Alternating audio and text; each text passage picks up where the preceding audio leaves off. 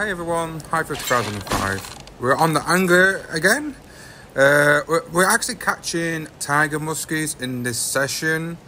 I was playing with some of my subscribers, like I usually do anyway, but uh, yeah, obviously we're going for tiger muskies, and obviously I've not ever caught a diamond tiger muskie before. Well, uh, yeah, this one was a gold this time. I caught both of them. Um, but yeah, I've not caught a diamond muskie before, ever since I started playing the angler.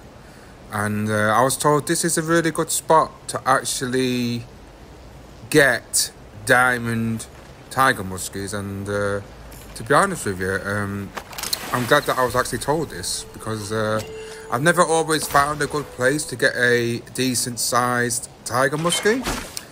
And I'm pretty happy that we was able to get one. Uh, obviously, in a minute, uh, you'll see for yourselves.